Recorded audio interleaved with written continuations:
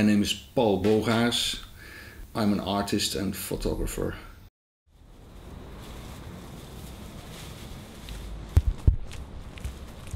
Every day is different in my work. I, when I enter uh, the room here, I never know what I'm going to do.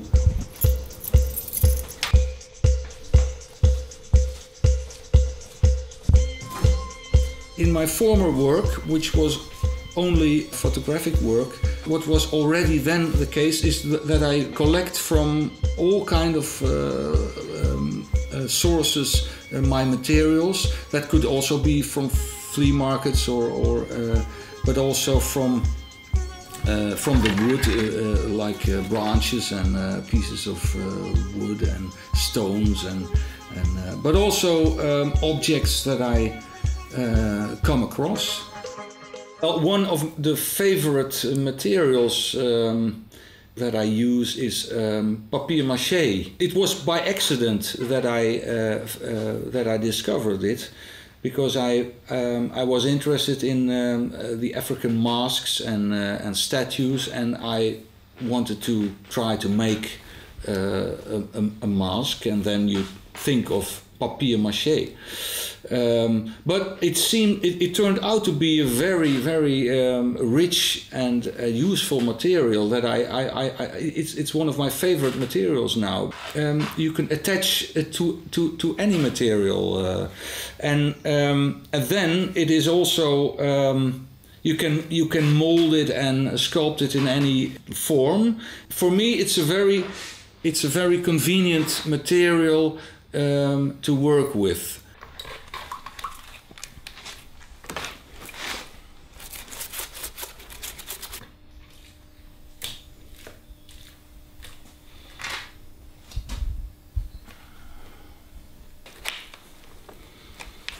when I started with my work, um, what I did was not at all in fashion. What you saw in um, photo exhibition in that time uh, were mainly uh, large prints uh, made uh, um, with a technical camera on large negatives, um, mainly of landscapes or uh, cityscapes, very detailed uh, registered in a, in a, rather objective way.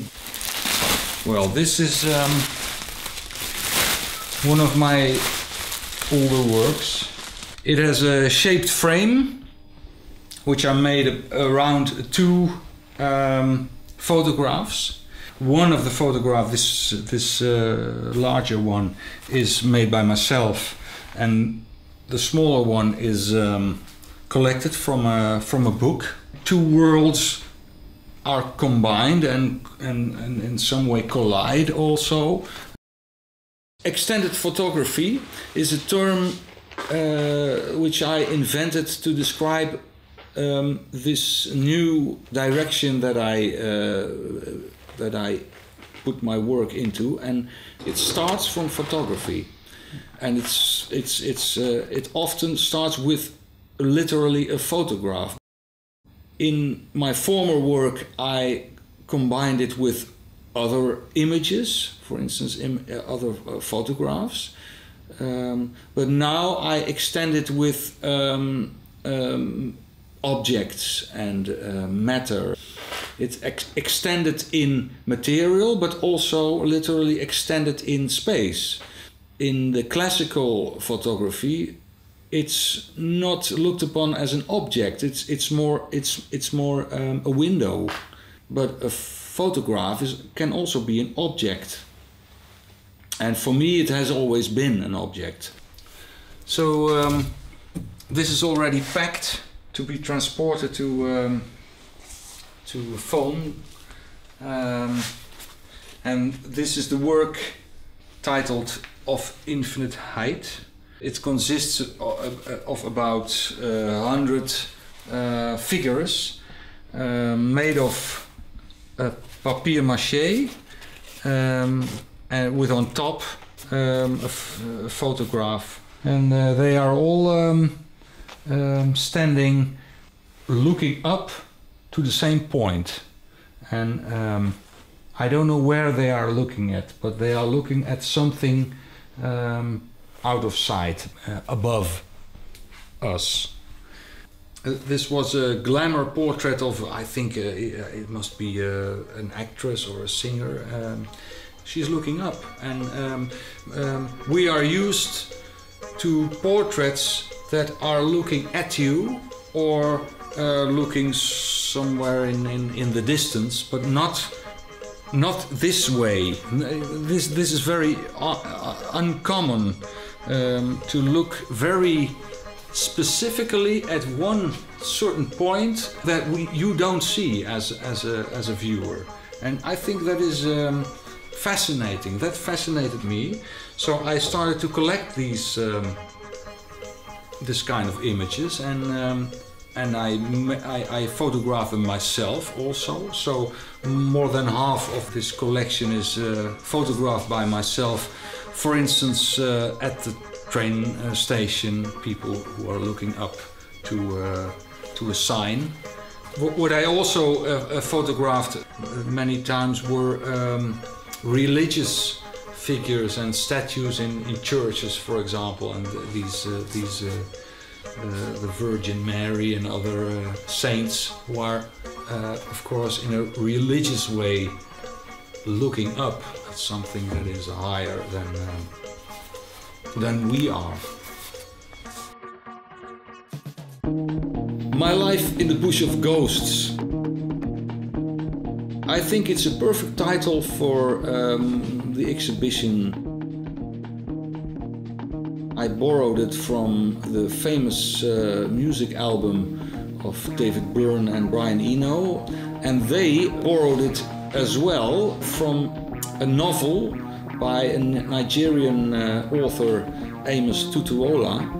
And he described in this novel, it's a typical African uh, story of a man who gets lost in the bush of ghosts, literally. But the, the music album that was a very influential album because it must have been the first uh, album where samples and especially samples from voices were used in uh, music.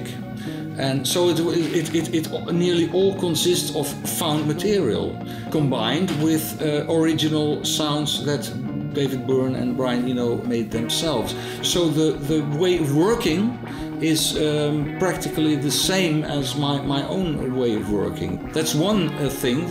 And the other um, uh, is the, the atmosphere of the, this music. It's the same as what I try to create in my work. The word ghosts, um, I think, is also very interesting uh, to me.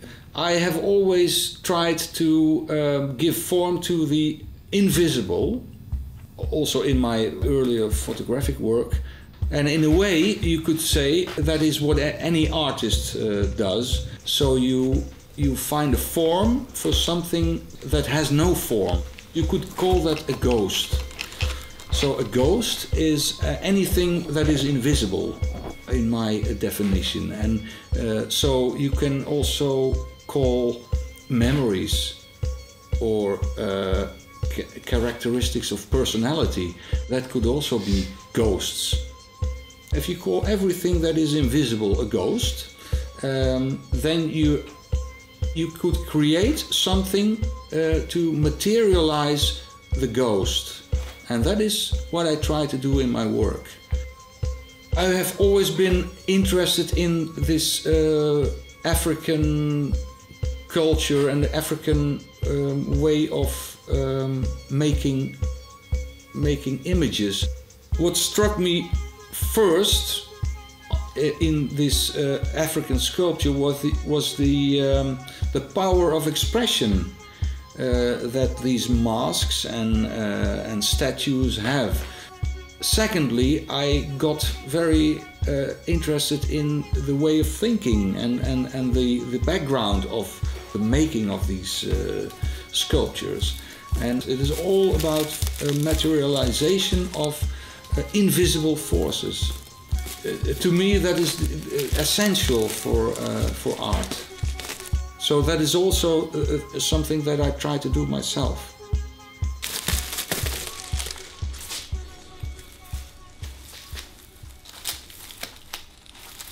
The sculpture is alive, so it is never finished, but it is uh, always uh, demanding uh, to add power to it, to, to, to stay alive, because there is a ghost uh, in it and it, it, it requires energy.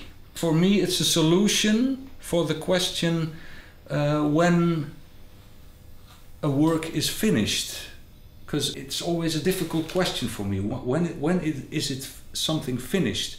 And I think um, a very good answer could be, well, it's never finished. As long as I'm alive and I, I am um, showing the work in different exhibitions, it could change all the time.